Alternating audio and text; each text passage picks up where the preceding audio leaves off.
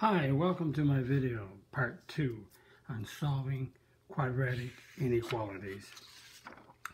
The quadratic inequalities are also done in Algebra 2 underneath the topic of quadratics, but the ones I'm doing here is a little bit more challenging. It needs more math skills. Let's do number one. Want to solve this inequality, inequality because it's less than equal to. So we'll multiply x by 2x minus 1. It gives us 2x squared minus x. Multiplying negative 6 by x plus 2 gives us negative 6x minus 12. And we'll multiply a half x by 2x to get x squared. A half times 2 is 1. x times x, x squared. Half of 12 is negative 6, and we have an x. Notice we have a quadratic, so I'll move all uh, terms to the left side, so 2x squared. Move the x to the left and make it negative x squared minus 6x minus, minus x minus 6x plus 6x minus 12 less than or equal to 0. And notice I have it equal to 0 because we have a quadratic. 2x squared subtract x squared is x squared. And negative 6 plus 6 is 0, so we have a negative x. Minus 12 is less than or equal to 0. And a quadratic is factorable. Not all the time, but let's just check to see if it is. x squared is x times x Uh, what I should say is not factorable. What I mean factorable over the integers. If, if, if we can't factor these, we have to use the quadratic formula. And the factors of 12 are 1 times 12, 2 times 6, 3 times 4. But which factors give me a 1? Looks like a 3 and a 4. And it's a negative 12, so it has to be positive and negative, so it's a positive 3 and a negative 4. And we have, if we have this, we have x plus 3 is equal to 0 or x minus 4 equals 0. So x is negative 3 or x is 4. So if we draw a number line and we put x is negative 3 and x is 4 on the number line, what we have is we have a less than equal to less than. The less than means we're looking for the negatives on the product. So let's try a 5. Number between negative 3 and 4, let's try a 0. And on the other side we have negative 4. If we put a 5 in here, we get a positive. If we put a 5 right here, we get a positive, and a positive times a positive gives us a positive. Now I'm going to sub 0 in. I, am not looking for the number, I'm just looking for the signs. 0 in here gives me a plus. 0 here gives me a minus. Positive times a negative is a negative. Now I'm going to put a negative 4 in. And negative 4 gives me uh, negative 1, which is a negative. Negative 4 here gives me a negative. Negative times a negative is a positive. So note, we're looking for the negative. So we're looking for this one. So we have less than equal to. So that means we have it equal to negative 3, equal to 4. And because it's a negative, all the numbers between negative 3 and 4 will make this inequality true. So that means the answer is negative 3 is less than or equal to x is less than or equal to 4. And normally, if it's not said, this is over the, the set of real numbers. And another way to name that, because it's equal to negative 3, is a square bracket, negative 3, comma, square bracket 4. Because they're equal to both of these, square brackets. So that's one inequality done. It turns out to be a quadratic that we have to solve. And I'm solving it by using the number line. Now another one that's very similar, but we have fractions, and we have the inequality of greater than. And, but because we have fractions, we have an LCD. So the LCD, I have it, I need an x plus 4, and I need a 3x. So this 3 is already in the 3x, so the LCD is 3x times x plus 4. We also had to be careful of that x plus 4 equals 0, x equals negative 4. We can't have a negative 4 because it makes the denominator 0. If 3x equals 0, divide by 3, x is 0.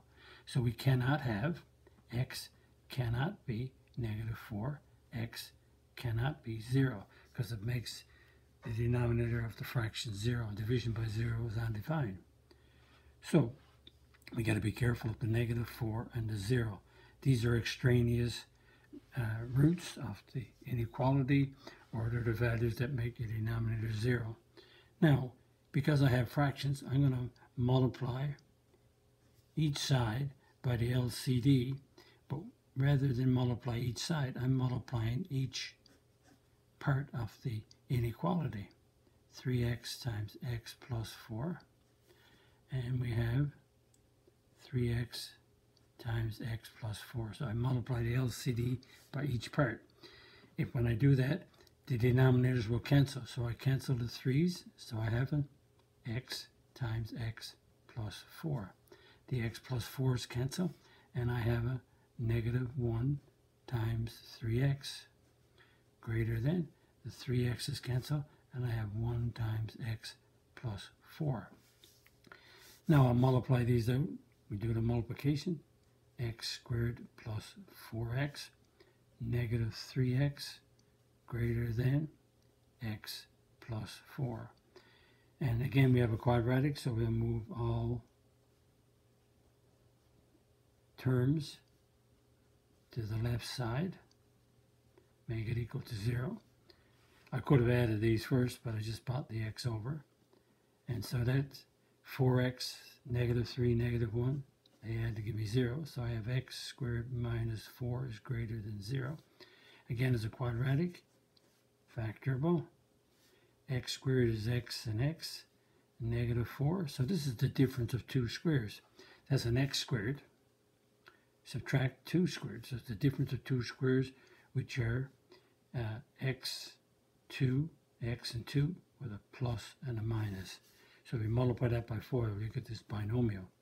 So that means x plus 2 equals 0. So x equals negative 2.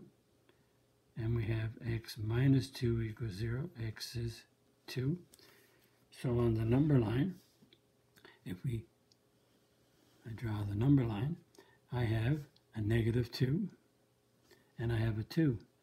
But I also got to be careful of x is negative 4 and x is 0. So we're not allowed to have the negative 4, so hollow dot. We're not allowed to have a 0, so it's a hollow dot.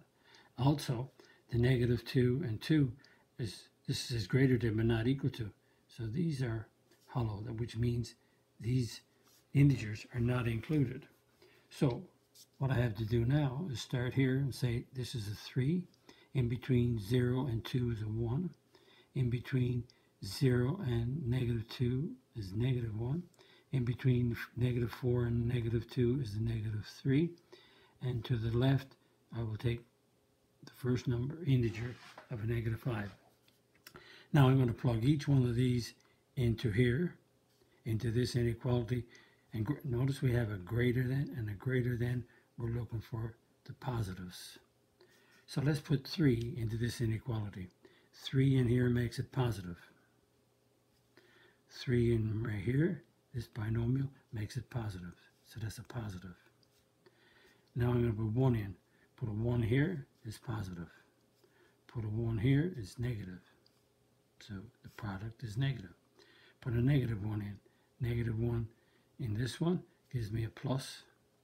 Negative 1 gives me a minus. So that's a minus product. Negative 3 right here gives me a negative. Negative 3 here gives me a negative. Negative times a negative is a positive. And negative 5. Put a negative 5 here. We have a negative. Negative 5 here. We have a negative. So That's a positive. So we're looking greater than is the positive. So we're picking up this one. So it's not 2, but to the right. All the and it's right here between negative 4 and negative 2 because that's positive and to the left of negative 4 this one so these are all the positives. so if we start here and write this one down this one means we have x is less than negative 4 is not equal to and right here we have in between here we have negative 4 less than x less than negative 2. There's no equal signs because there's hollow dots. And right here we have x's greater than 2. So this is an OR. These are all the values. The values greater than 2, the values between negative 4 and negative 2, and the values less than uh, negative 4. And to write these answers in in the notation uh, is negative 4 going to negative infinity or we have negative 4 going to negative 2 notice these are open brackets. There's no square brackets because there's no equals and this one is open at 2 going to infinity so there's two ways you can name the answers. You can do them like this or like this. So that's uh, solving some inequalities which end up to be quadratics. And notice how I, handle them by picking up the numbers on the number line. And don't forget, when you have fractions, you cannot have the denominator zero. So those values have to be excluded. So, if you like my video, click on the like button. If you're not a subscriber and you want to subscribe, click on the subscribe button. Visit my math website, www.mathfullyexplained.com, to find more information about me, my videos, and the content. That's the content that I have on my YouTube channel called Math Fully Explained. Thank you for viewing my video. Hope the video was of some help to you. Bye-bye.